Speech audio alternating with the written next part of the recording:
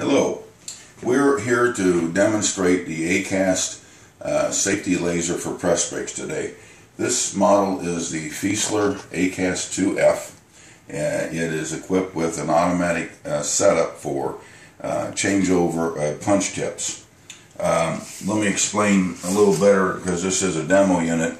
Um, there are brackets that hold the receiver and the sender and are mounted to the sides of the press brake and actually this system will go up and down with the press brake always covering the tip of the punch.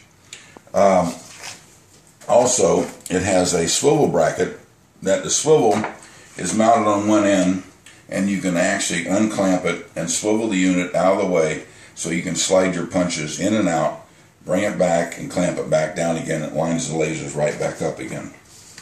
So I'm going to go ahead and demonstrate AKAS has uh, basically three lasers here, uh, two underneath the punch and one out in front of the punch.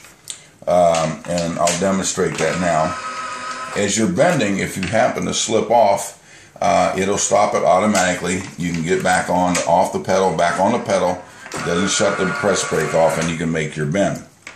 Um, the other unique feature of lasers is the opportunity in, in box bending is that we can actually mute out the front beam and still have two beams on underneath so if anybody reaches inside a box or outside a box it'll still be safe and you can still uh, run the system. As you can see here we're going ahead and make this bend and it, and followed the, the laser followed the lines and was able to make the box bend. Uh, if this was a, a uh, light curtain situation, you're going to have to be back 8 to 12 inches. You have to lay your part in there and get a quarter inch, or go ahead and put your, and when it gets to a quarter inch, then you can insert your part and manipulate it. Um, the other nice feature about the AKAS 2F is that we have what we call wavy material. If this is a sheet wave that would come along there, it doesn't know if it's my finger or the sheet.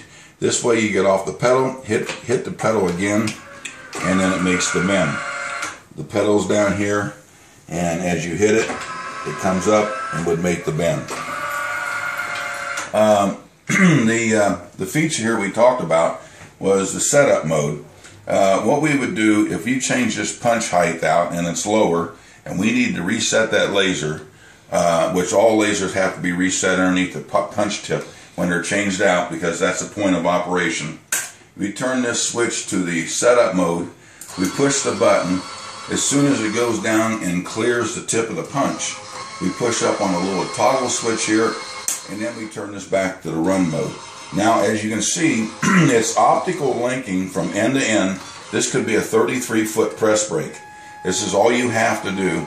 And roughly about 14 seconds by the time you grab your part, as you can see here now, it's blinking and we are safe at this point.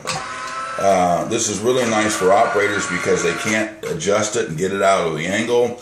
Um, you know, and and uh, with our competitors, um, their their system is manual.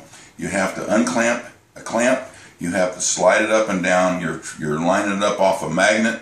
You got to run down the other end of the press brake and do the same thing. And sometimes you got to come back here and line it back up again. It takes about five minutes to do that. We also offer that type of system uh, if nobody changes their tools out, it's called an AKAS LC model. Um, these, um, as you can see here, um, this is the type of part. A lot of people will say, well, how hard a part uh, can you do on this? And, and this is just an, an example of where a part uh, has been run with this turned on the whole time, the AKAS. Um, if you uh, would like any further information, please don't hesitate to contact us through uh, and uh, fill out the questionnaire and we'll get you a quote over. Thank you.